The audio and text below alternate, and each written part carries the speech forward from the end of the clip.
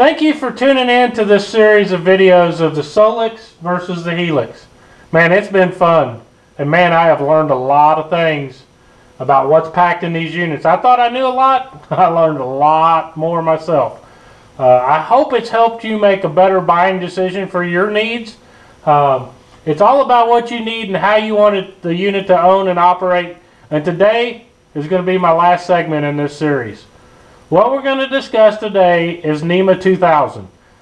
NMEA 2000 is a data transmission network that allows your, for example, your outboard motor data to be displayed on your unit. You can also get other things like wind speed, uh, altimeter. There's a lot of other gauges and stuff that you can add to your network to be displayed with NMEA 2000. But basically today we're going to talk about NMEA 2000 connection with your outboard motor. If you've watched my previous videos, I showed you how to, to hook the Solix up, and I've showed a video on how to hook the Onyx or the Helix up. Now we're going to talk about what is the differences between the two units.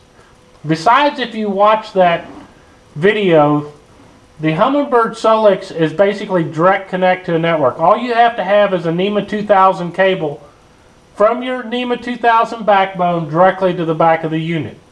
Where the Humminbird Helix required that, that Humminbird black box to read data off of it. The, the Solix is a direct connect unit. It is fully compatible.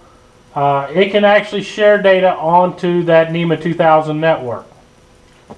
What I'm going to do is show you a few differences and help you make a better educated so what's decision. truly different between the Solix NMEA 2000 and the Helix NMEA 2000? Well, one of the first things we'll notice is the customization of the screen. If you watch the Solix install video, I went into customizing uh, the data that is displayed in the NMEA 2000 gauge view compared to the Helix. The Helix you can change data, but not to the extent of the Humming of the Solix series. Basically, you hit your menu. You'll come over here to the gear, which is your setup menu, and you're going to come down to readouts. Select readouts. Digital readouts is your your data overlays for your Humminbird, but select readouts is your data for the NMEA 2000. This shows you your gauge display and what you can do. Um, you can change some selected readouts through the, use the left and right arrow. All depends on what kind of gauges you have on your screen. Like here we've got fuel, this is our tach, our RPM number, our air temperature, speed over ground, engine temperature, oil temperature. This is your course over ground, which is a compass heading. And then you have speed through water. Those are changeable with the Helix. There's limited things you can change. But with the Solix, there's a multitude of changes and options and data that you can read.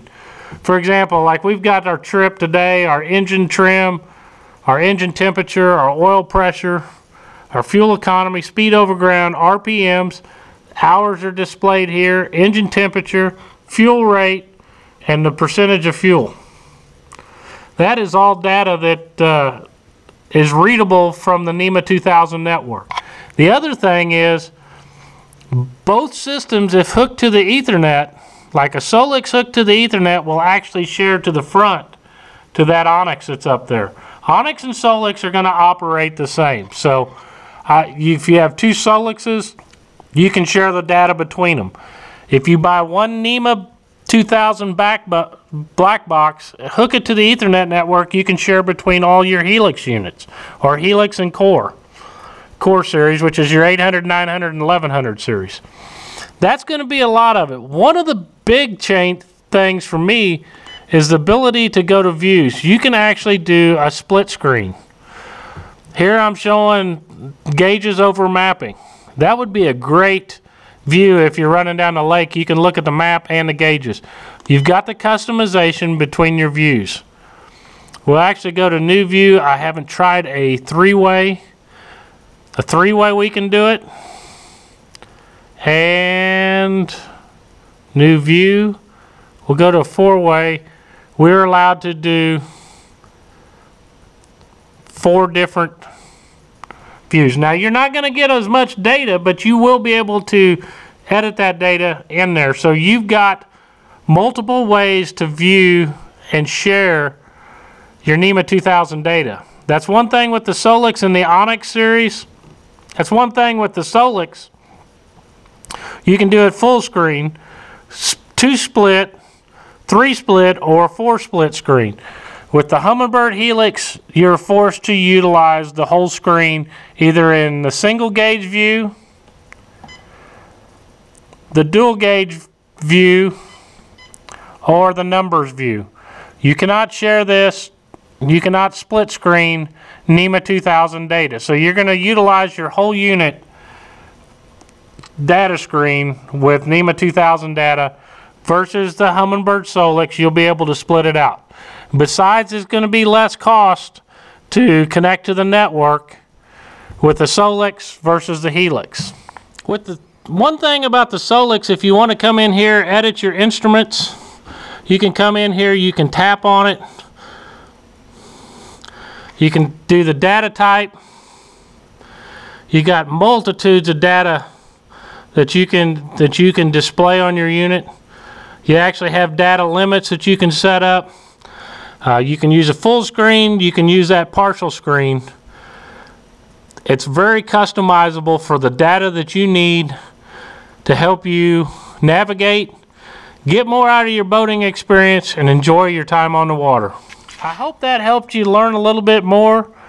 Uh, one of the last differences between the Helix and Solix that I can come up with, if I think of other ones or you comment, uh, I will I will continue the series to help you all out. I hope that helped you learn a lot more about the NMEA 2000 networking and the and the, the differences between the Solix and the Helix series. There's a, there's a few differences. Both of them are going to dis display the data. It's how you want to display it and what you want to do and how you want to grow your NMEA 2000 network. That's going to be part of the differences. I really appreciate everyone that has commented, liked, shared, and subscribed to this video series. It's been a fun series. I've learned a lot. It's a tough decision out there what unit is best for you. It's what fits your budgets and your fits your needs. I mean, to me, it's like flipping a coin. Heads you win, tails you win also with Humminbird. You can flip the coin, make your call, get the best unit for you. That is the most important thing and best advice I can give you. If it's the Humminbird Helix, awesome unit. Humminbird Solix, awesome unit. Both of them will, will help you out on the water and enjoy the time on the water. Thank you for tuning in and I appreciate you watching this video series and I hope it helped you get more, help you make the best educated buying decision for your needs. You can't go wrong with Humminbird. It's simply, clearly better.